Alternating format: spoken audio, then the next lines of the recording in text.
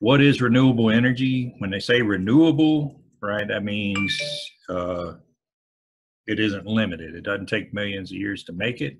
It happens every day. The sun comes up every day. The wind's blowing uh, whenever conditions permit, depending on where you're at.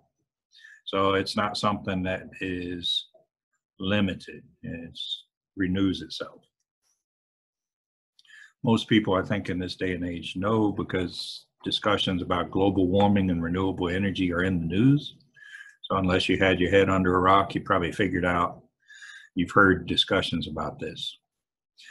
The key there is they're constantly being formed. They replenish themselves. They happen on a routine basis. They don't require the exploitation of any limited resources that are buried in the ground or that can only be used once. Main types, solar, wind, uh, water, hydroelectric, and then geothermal. You say geothermal, we're talking about Earth's heat. Remember, everything affects the environment. Everything you do affects the environment, right? That's that cycles that we've talked about. So whatever means we use to generate energy is going to have some impact on the environment. Let's talk about solar energy. Solar is the main source of energy for this planet without human activities, right? So every day the sun comes up, every day that the sun is emitting, uh, undergoing fusion, as we talked about earlier, sending energy through the 93 million miles between us and the sun, warming the planet, making the plants grow, keeping the oceans melted, everything else. Without the sun, game over, right? So it is the main source of energy for the planet. But we've developed uh, the technology to exploit the sunlight to generate electricity. So that's solar power is an exciting frontier and there's been a lot of progress and there are actually plants. If you go down 96 out towards Lane Packing where they sell the pecans and the delicious pecan ice cream, if you go out that way, you'll drive by a Georgia Power solar field look out in the field and you see a ton of solar panels. Those are oriented, they're generating electricity that gets put onto the grid and helps power people's homes and meet our energy requirements. So this is happening in our neighborhood, certainly in Warner Robins and Perry and, and various areas. So I lived in uh, Carter Woods. One of my neighbors got it in his mind that he wanted to get off the grid, and he made a huge electric uh, solar energy panel. Had three of them, you drive by, uh, you can see them over at Carter Woods. But he's got them on a rotating so they follow the sun. And that's the way he gets electricity. We'll talk about solar power and the science of it in more detail. Okay, so passive solar heating, that's where you use the sun's energy to heat your building directly. So the sun's irradiating your building with all kinds of radiation and heat. And if you face your windows towards the south. You'll notice in your home if you have a south facing window because we're in the northern hemisphere. And in the summertime especially the sun travels up to 22 and a half degrees latitude. So get, that's why our part of the planet gets warm in the summer as the earth goes around 365.25 days around the sun. During those six months we're closer to the sun and then for the other six months, we're further from the sun. That's uh, why we have winter. But that heating source is just passively calms and heats your building. So there's ways that you can exploit this phenomenon to uh, put windows in your house and allow the sun's energy to come through and heat your house. If you do this, and people are really serious about environmental, you know, minimizing their carbon impact and other things, if they employ these, they could uh, reduce their energy consumption. You might wonder by how much, Mr. O'Neal, and what's that look like? Well, let's take a look. So here's the sun, and you get the winter sun and the summer sun. As I mentioned, the sun goes because the Earth is on a tilted axis. In the wintertime, we're closer, or excuse me, we're further away from the sun. In the summer, we're closer to the sun in the northern hemisphere. It's exactly the opposite for the people who live in the southern hemisphere, like the Australians. But up here in the in the winter, uh, you can optimize the amount of sun that comes into your house by placing windows. And in the summer, there's things you can do to uh, get more shade and reduce your cooling requirements. These things include thick walls and floors, insulation in particular, right? So if you build a house, a modern house, it's energy conscious. Uh, you can build the walls differently with uh, highly insulated materials to minimize your heating and cooling requirements. Uh, when you put your roof or your attic, you can put a lot of insulation up there. There's ways that you vent to let the hot air get out in the summertime in particular. And then you can have window coverings uh, that would reduce in the winter the amount of heat that you lose through the window. Nowadays, with the modern windows, they have a tremendous insulative value. You can buy a high E window. Some of them are quite expensive, but they have argon in between two plates of glass, and they have very good insulating qualities. There's all sorts of science that goes into this. And it doesn't have to be like high tech, right? A simple tree can shade you from the sun. That will reduce your cooling requirements. In a climate like Georgia, where we spend most of our electricity on heating and, or excuse me, on cooling, not so much heating. If you're in the northern hemisphere, you spend a lot, or up in the northern latitudes like North Dakota and Minnesota and places like that, you probably don't even have an air conditioner because it doesn't get that hot. But in the winter, you spend a lot of energy heating your house because it's awfully cold outside. In Georgia, the winters are very mild, and we spend most of our energy on cooling our houses in the summer. So there's things you can do depending on where you're at to minimize your heating and cooling requirements. In any case, if you insulate your living environment from the outside, you're going to reduce your heating bills and cooling bills uh, wherever you live. And then you could take it to another level with active solar heating. That's the gathering of solar energy by collectors who use to heat water.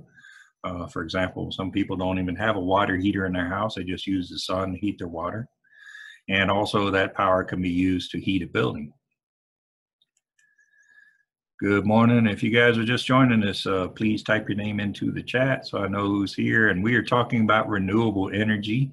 We're in the midst of talking about solar heating. There's passive solar heating that we've discussed, and now we're going to talk about active solar heating, which is a way of bringing uh, the sun's energy to using that to heat or cool your house. Here's what it looks like. So you'll see some houses that have these uh, square boxes, or usually they're square, sometimes they're circular. They usually use a square because it's economical and easy to construct. But here's how it works. So you have cold water comes in from the city. The city of Warner Robins supplies water to your house. You take that and you route it, and if you name, look at the screen, look at the screen, up into something that is exposed to the sun's radiation. So it comes in cool and it's get heated by the sun, and as it gets heated, it pushes through. And there's a phenomenon in science that cold uh, sinks and heat rises. So as this cold gets heated up, it rises through and actually develops an energy to push it through. Uh, so coming up here, being exposed to the sun, the temperature comes up, comes down into your distribution inside your house, goes into a tank where the hot water's uh, conditioned for use in the house, depending on what temperature you want it at. And then that uh, goes to your hot water spigot for your shower or whatever. So this is an example of using the sun's energy for active solar heating, actually deliberately using the sun's energy to uh, heat water or do other functions. Here's a description of what I uh, explained to you. About 8% of the 8% of the energy used in the United States is used for water heaters. That's a lot when you know it's not a lot for your particular house. However, it's a lot when you look at the entire country. So were every house to have an active solar heating and use the sun's energy, that would reduce our energy requirements across the country. Maybe in the future, this will be a building code or a requirement. Right now, it's pretty much people that want to do it. And especially where you have high energy costs in place like California, uh, people are doing this just to save money.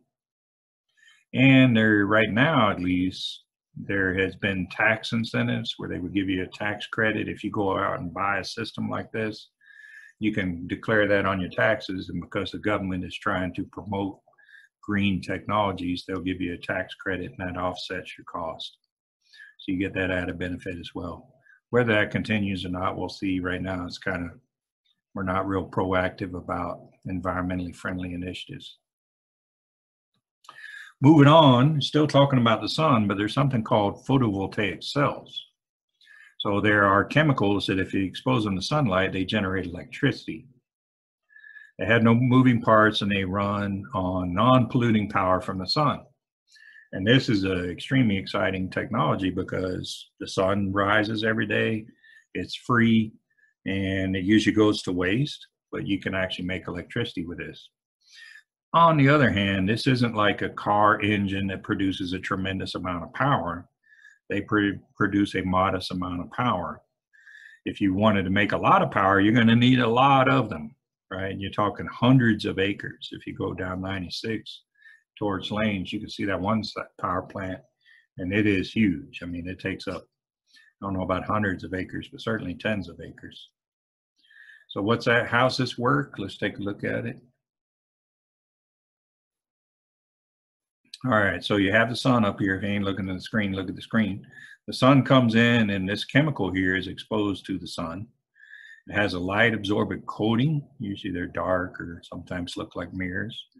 There's a phosphorus enriched silicon is the material that they use. Silicon is a chemical. Uh, it's also the chemical that your phone's made of. But anyway, they enrich it with phosphorus and that uh, they take that silicon, enrich it with boron. Between the two of these, it generates, when that sun comes in, it causes electricity through ionization of these uh, chemicals. That electricity is then collected, distributed through a wire, and can light a light or do other functions from it. So you get electric current flow from the sun's interaction with these chemicals. Hmm, some reason, let me see here. Uh, can you guys see me? Yes. Okay, yeah, so um, some reason I'm seeing some weird stuff. Let's see here.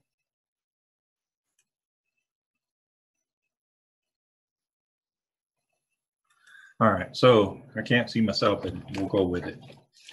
What I wanted to do is I have a little photovoltaic cell here and I want to do some science for you and just show you what it looks like.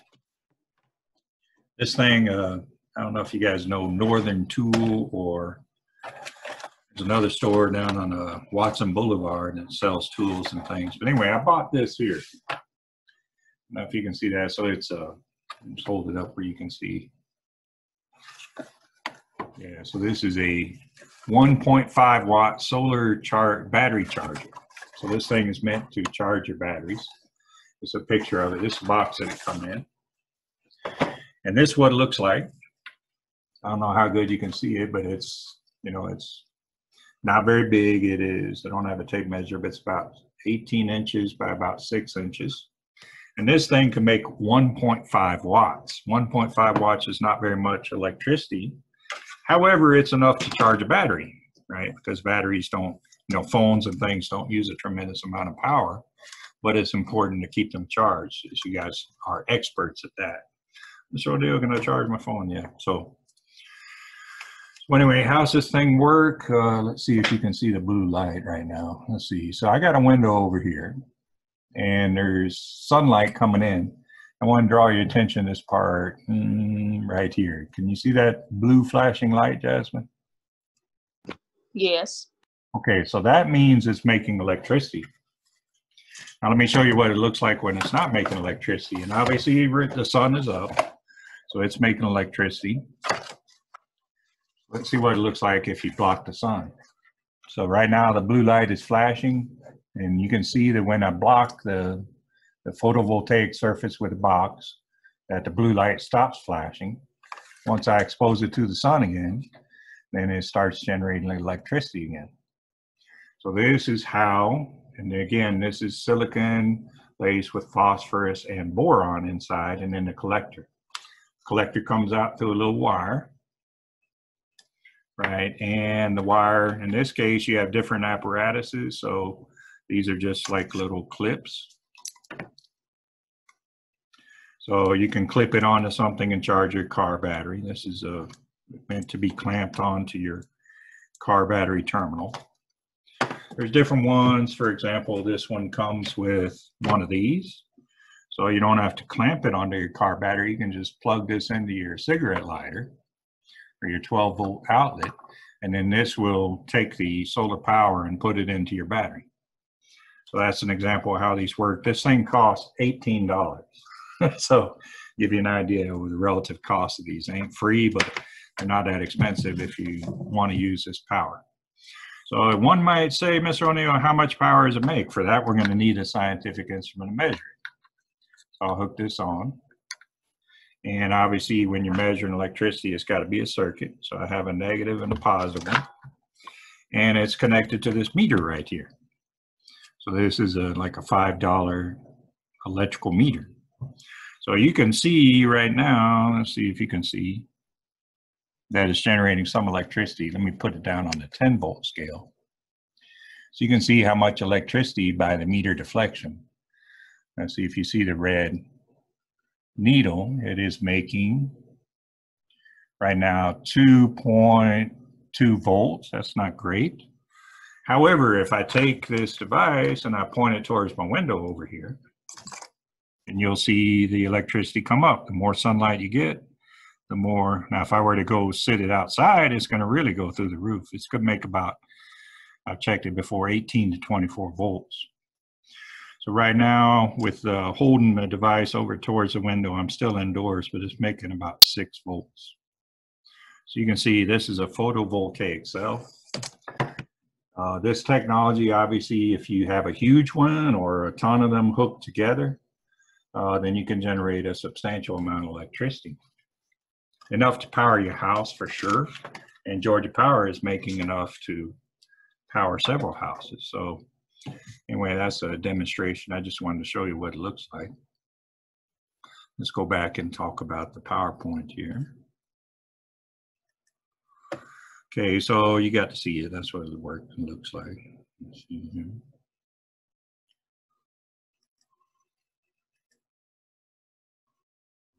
Okay, so now they obviously, can you think of any problems with this source of power? Well, one problem is the sun goes down at night, right? So when the sun goes down, you don't have any electricity. That's no good because what if you want to watch television or you want to consume electricity at night, you're going to have to find a way to store the electricity you make during the day so that you can use it when the sun goes down.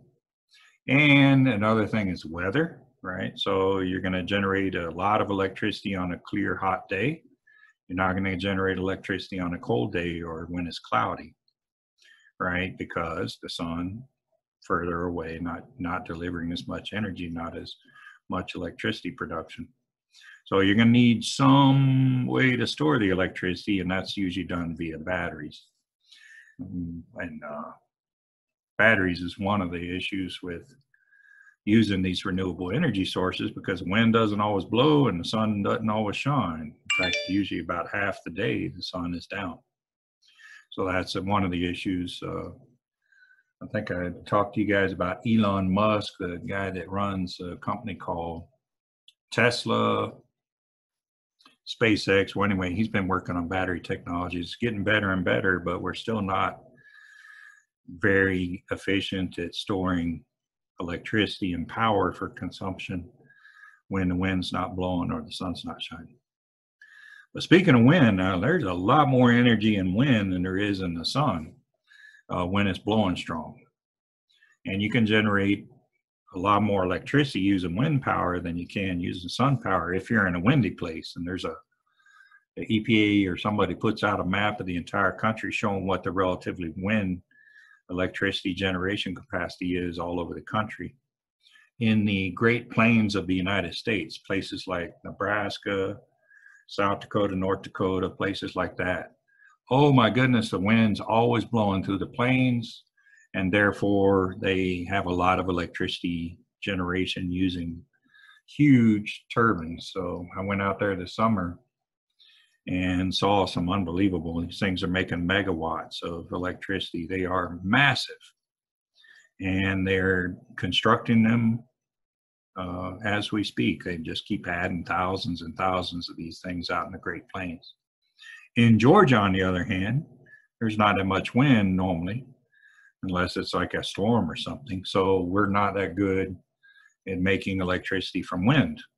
So that electricity is generated in the Great Plains has to be transmitted from North Dakota or wherever to Georgia in order to be consumed. But we have a nationwide network and they can use that power for, say, Denver, a big city that's closer to them. Wind turbines, there's uh, actually these places are called wind farms now, even though it's not plants, they still call them farms. And there are thousands of these windmills, some of them massive and generating a tremendous amount of electricity. That those are supplying homes, they're going on to the grid, and that's where the electricity generation and distribution uh, electricity is made is distributed to a grid to different cities and things. We're all connected together, almost the entire country, but it's generally local. Most of ours comes from Georgia Power. If you're serviced by Flint, they supply your power. The cost is going down uh, because they're people are making them. There's a General Electric, one of the companies that was founded by Thomas Edison. They're still in business. They are making massive generators with huge turbine blades, and they're getting better and better. So if you look at the megawatts installed over time, when I was a kid, when I was in high school back here, there was almost no wind generation. But now, since 2000, the government's been involved and the price of energy's gone up and the requirements are going up and people are worried about global warming and the environmental impact of electricity production. So all these factors are making more and more uh, electricity production using that. Hmm. So you can see now it's on the climb, right? And if you look in the future, it's probably going to go up even more, right? people are worried about global warming and environmental impacts of electricity production, there's every reason to believe we haven't even scratched the surface, right? You're not going to slow the wind down. You're not going to have a major impact on this renewable source of energy. You're just going to exploit the wind. Even you're not taking that much energy out of it to make a turbine turn. The wind's still blowing on the other side of the turbine.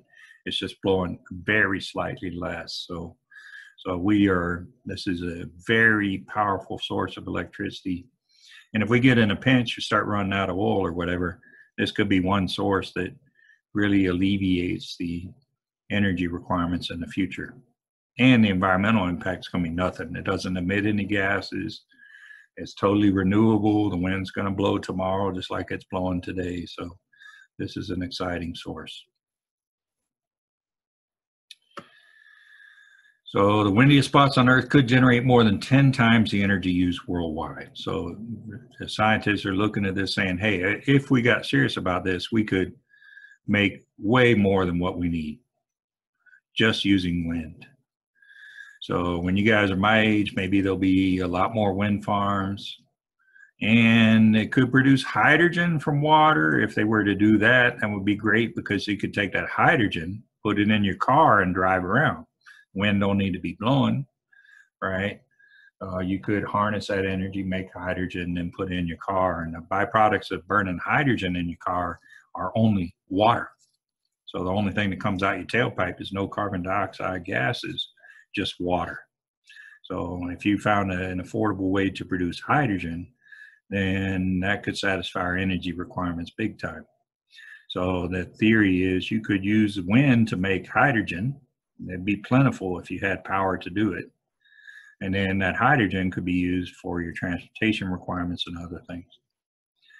So that's some of the possibilities to solve our future energy problems without trashing the environment. Right now, we're just burning gas for the most part. It's cheap and we've been doing it for over 100 years. So there are other ways. Biomass is one way.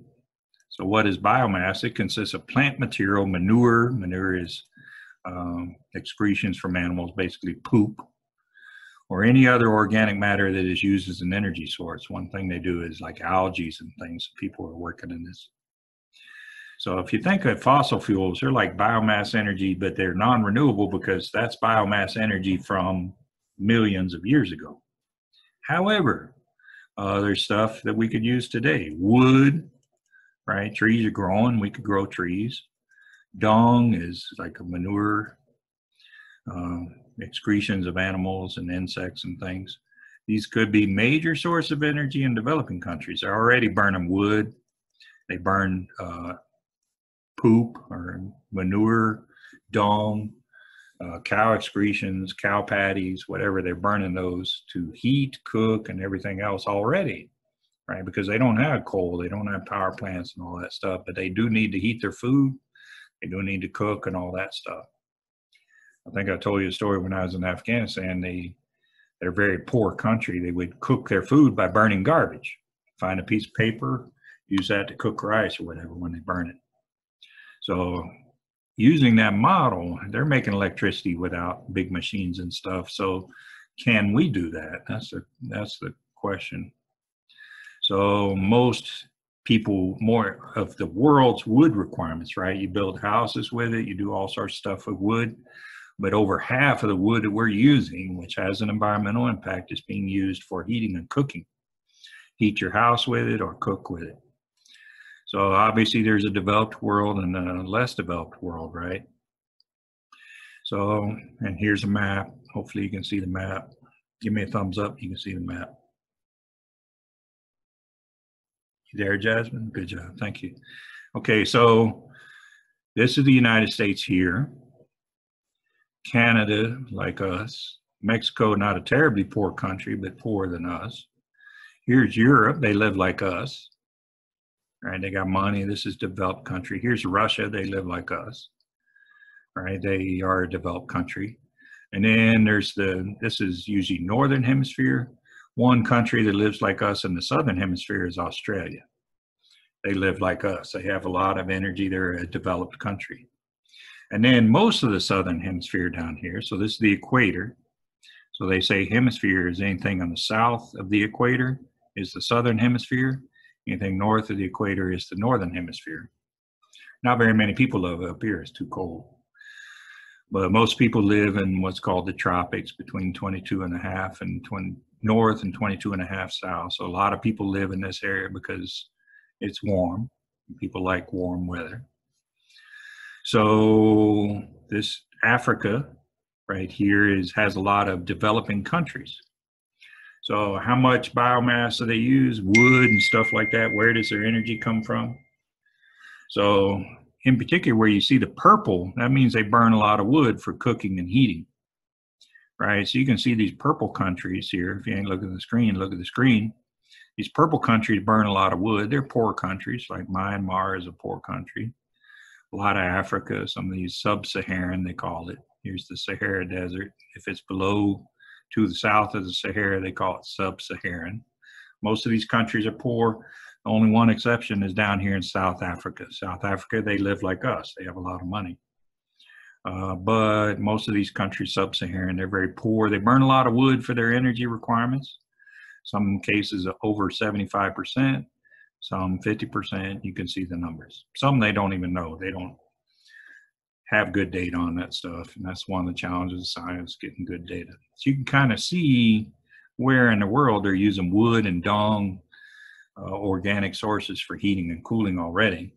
Now, mind you, they are a lot less energy intensive. They don't have electricity in their homes and stuff like that. They're poor people. Although they're renewable, uh, if you use them too much, you'll deforest, right? Remember we studied that earlier. Deforestation is one of the issues. Another thing, the trees are doing something for the environment. They prevent erosion. We go cutting down all the trees, and this has happened in countries like Haiti. They cut down all the trees, and now they have an erosion problem, and, and, it, and Haiti has got a lot of issues on account of deforestation. It's a classic case of what could happen if you don't manage your your forests and stuff. You get habitat loss. We talked about, we watched that one video from the rainforest where they're cutting down, right? And when you cut down the forest, what happens to the animals that live in the forest? They're gone. They lose their habitat. There's issues there. Also, what happens when you burn something, you get smoke. Smoke's got all sorts of chemicals in it, could cause smog and other things if the wind's not blowing. And also, you're putting out air pollution, including carbon dioxide, right? Classic byproduct of, of uh, combustion. So those are issues, right? And so it, it makes it not like uh, burning stuff isn't going to get us out of our problem in terms of having sustainable uh, energy production that's not going to trash the environment. But it could be part of the problem or part of the solution. Another thing is methane. Methane is a gas that when organic things decompose, no offense, but when we all die, we're going to make methane gas. Just the way it works. So when critters die, the bacteria come in, they start decomposing whatever it is a plant, a leaf, a tree, whatever. And when they do that, the bacteria kick out methane gas. Methane is a gas called CH4 is a chemical formula. And so it makes it a hydrocarbon. It's got both hydrogen and carbon in it. That's called a hydrocarbon. But these animals produce stuff. So if you just collect it, then you could use that gas, it's flammable, to generate heat or electricity. For example, uh, let's see, one time I was in the Navy and went to the Red Sea, and they were just so much gas coming out of the oil wells that they were burning them off in a flame above it. They didn't even make any attempt to collect it. So that's methane. Now, there are ways called digesters, right? Just like you eat something, your body digests it. So you could have an industrial machine to collect, for example, human waste or whatever, the sewer, put that in a digester and collect the methane gas that comes off as the bacteria eat it. If you could collect that, and that is uh, actually could be an energy source, right? You could conduct combustion with it. You can make a, a generator. Uh, in the United States, some of our landfills generate electricity by using the methane. Every, all the garbage we put out goes to a landfill, sits in a big pile, makes out methane gas. They can collect that gas and then use it for, you know, heating their buildings or generate electricity for their operations or whatever they want to do. Theoretically, if you did on a large enough scale, big cities, for example, you could collect that methane gas and then put it back into um, circulation for energy production. But it's not a huge source of electricity right now. Another thing is alcohol. Let's talk about alcohol. And I'm not talking about that kind of alcohol they sell in the bars and stuff. I'm talking about uh, alcohol as a liquid fuel, right? So alcohol is usually made of hydrogen and carbon, different versions of it, all kinds. One kind is called ethanol. Now, they figured out that if you ferment agricultural stuff, uh, for example, corn, you take corn, you ferment it. Fermenting means you allow it to die and decompose. Then it generates a uh, byproduct of alcohol. We've known this for thousands of years, since before we could write even. They've been making beer out of wheat, barley, hops, and oats and things. They make different kinds of, of alcohols. If you take potatoes, you can make vodka. If you take corn, you can make whiskey. Uh, something called corn mash, like different kinds. People do this mainly for entertainment to sell to people so that they can consume the alcohol either socially or even some alcoholics. Anyway, we've been doing this for many, many years. Beer, wine, you ferment grapes, make wine. You ferment potatoes, make vodka. You ferment uh, wheat and other things. You can make whiskey, there's different kinds. So anyway, you can make alcohol by fermenting plants. So in this country, we are actually one of the major producers of a chemical called ethanol. Ethanol is made by fermenting corn. So we grow a lot of corn, and even in Georgia, we grow a lot of corn, but especially in the Midwest. Uh, states like Iowa, Nebraska, South Dakota, where they have these huge farms that make corn, and they take that corn and then they produce ethanol with it. They mix it with regular gasoline, and that's called gasohol when they mix it with gasoline. And then that reduces the amount of gasoline that we need. Gasoline comes from petroleum, the ethanol comes from corn. You mix those together, your engine doesn't care. It'll just burn whatever you put in it usually. Uh, depending, it's like limits. Like if you have a, a car, if you look on your gas tank, it'll say no E85. So there's like a 10% ethanol is okay, but 20% is not. You can only go up to 85% gasoline or go down to 85% gasoline. So anyway, this makes less air pollution because it's alcohol, not petroleum. Uh, so that's one advantage of it. Others is it it's renewable, right? You can grow corn this year, you can grow corn next year, right? And you're not having to dig it out of the ground, and it doesn't take millions of years to make. So some states require, especially in the Midwest where they're producing this, they require gasohol on your vehicles as a way to reduce the air pollution. So I lived in Nebraska for a while when I was in the Navy. When I lived in Nebraska, and you couldn't get regular gasoline. All of it had 10% ethanol because that was a state law or whatever. We're still in the preliminary stages, and certainly we're not going to produce enough to to make a big difference. On the other hand, Brazil, for example, I was reading Brazil, they produce a lot of sugarcane in Brazil, and their government doesn't have any oil like the United States has oil. They don't have oil, so they've uh, actually produced a tremendous amount of ethanol using sugarcane in Brazil, and that is a big part of their energy requirements. And their cars are, are made to burn it. Let's move on to another renewable source of energy, hydroelectric. You remember hydro means water. You know what electric is. So you make electricity using water. And they've been doing this for certainly hundreds of years, if not a thousand. I think they've been doing it for a long, long time. In fact, in the early stages of the colonial period in America, most of the power, most of the factories and everything were run using hydro power. Not electricity because we didn't have it back then, but they would have a put their mill on a stream. They have a big paddle wheel. The water from the stream turns the paddle wheel. That turns the machinery inside the factory. So I've been doing this for many, many years. But then once electricity in the electricity age, say 1930s onward, we started building huge dams.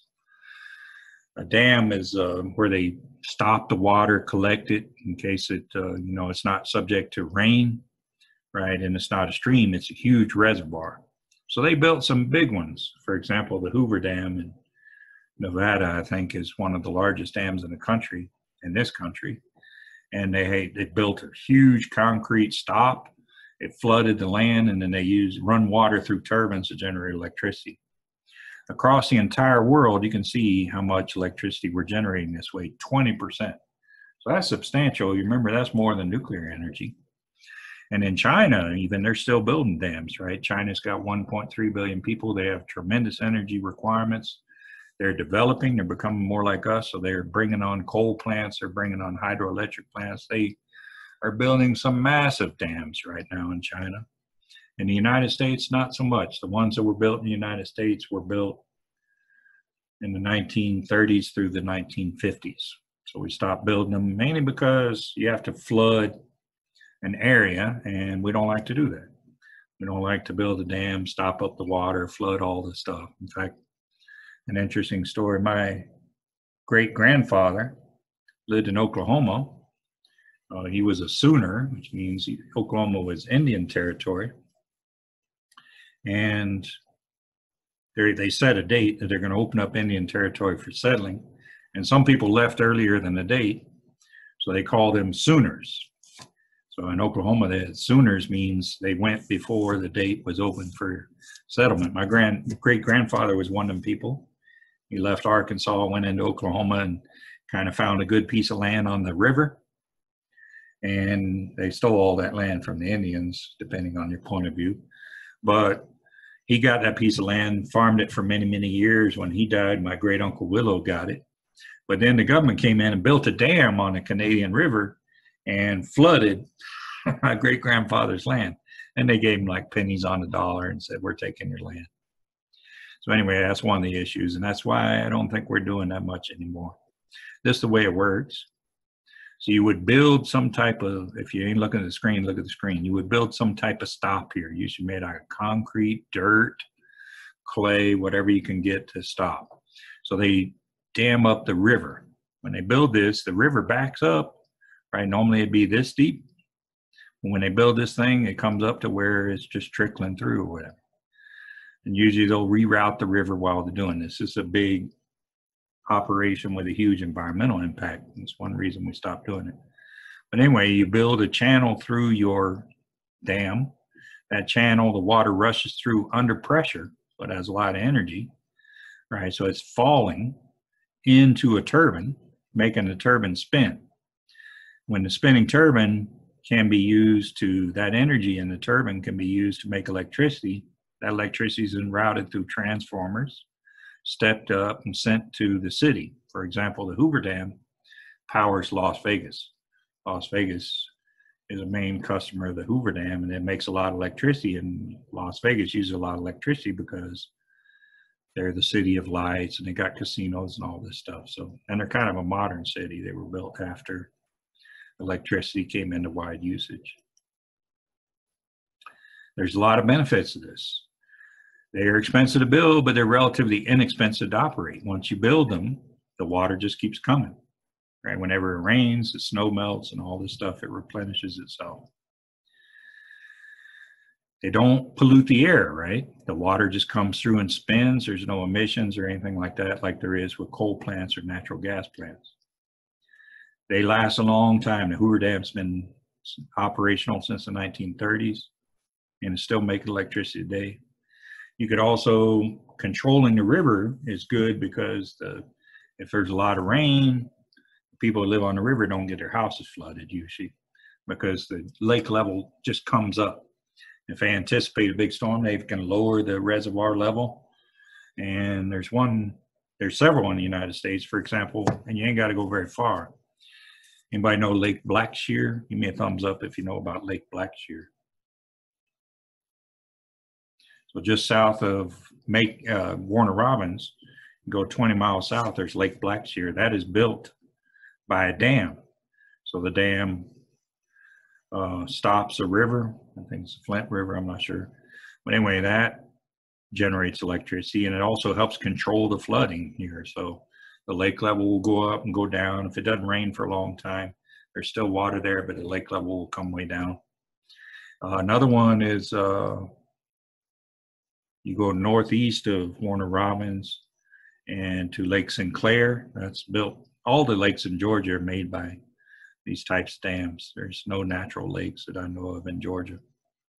So they're all made by man from activities in the 1920s or even earlier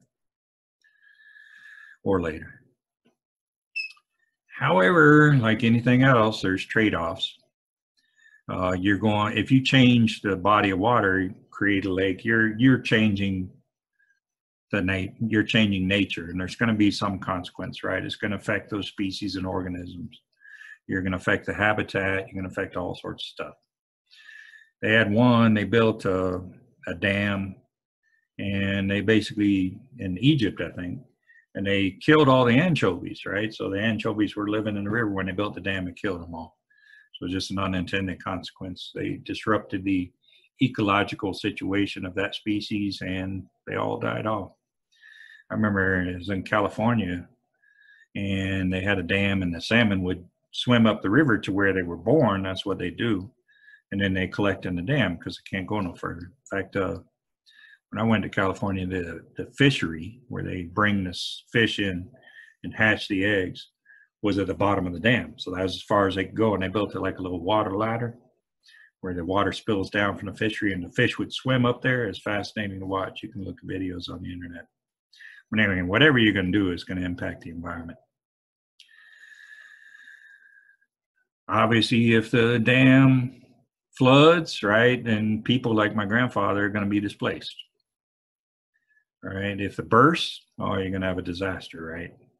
And this happened uh, famously in 2005 when Hurricane Katrina hit New Orleans. New Orleans, the storm itself didn't damage the city of New Orleans, but the water collected in Lake Pontchartrain around New Orleans and it flooded and some of the dikes broke and oh my goodness was it a disaster. It had so much flooding the entire city of New Orleans was flooded uh, it was a bad scene. So that's one of the disadvantages. If you don't maintain it, or you get a super bad storm, something bad could happen to you.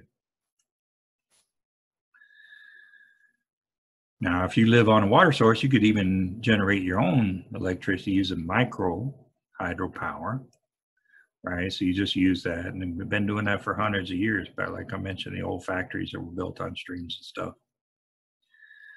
So, but and that's cheaper, but who knows what's happening? I don't think it's a major source for electricity at the moment.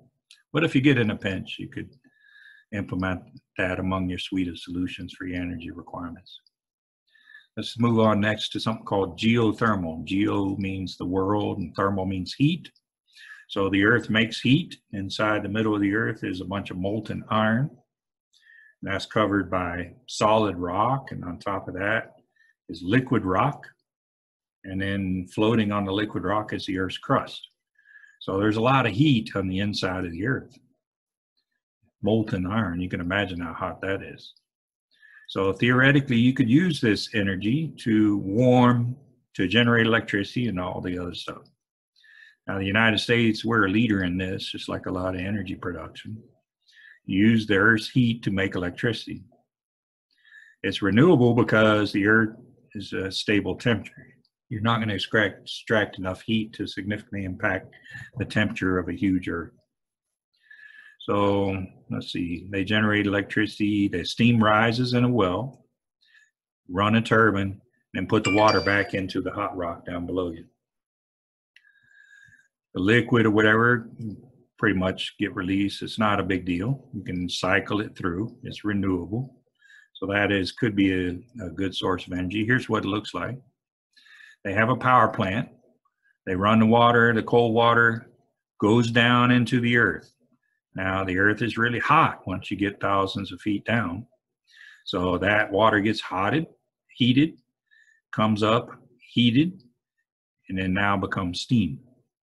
It doesn't even have to be super that hot once you add uh, vacuum temperatures and things that turn turbines. There's all sorts of science goes into this.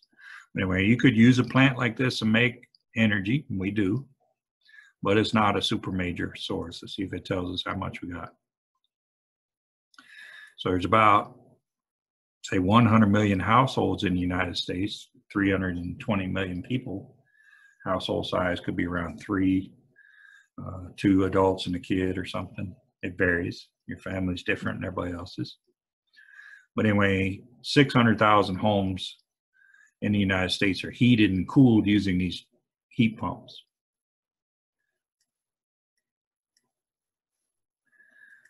Okay, so let's see what it looks like here. You could do it in your own house theoretically because the ground is hot down there. If you if you have the technology or you build it this way, really is what you're talking about. Or you have some land next to your house that you could dig a big hole and put something like this in. So you would dig a huge hole, run your cold water in, it gets heated and comes back to your house warm.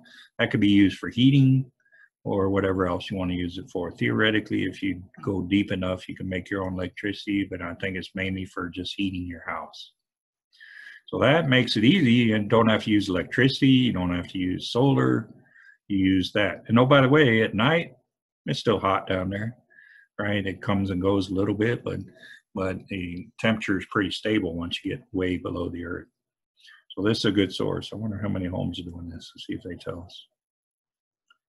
In the summer, the ground is cooler in there and the fluid cools the home in the summer. That's good. In the winter, it's warmer and it heats the home. So that's like the best of both worlds. So there you go. That's uh, some information about renewable energy production.